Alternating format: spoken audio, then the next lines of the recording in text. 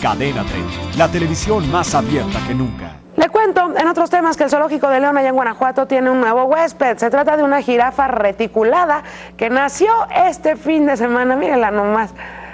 Después de una gestación de 14 meses, porque eso es lo que dura la gestación en las panzas de las jirafas, esta jirafa bebé se suma a los ocho ejemplares que ya existen en aquel lugar. Es macho, pesa 40 kilos y mide un metro con 70 centímetros, así de recién nacido.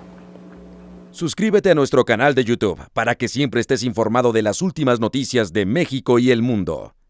Empieza ahora mismo dándole clic a estos videos.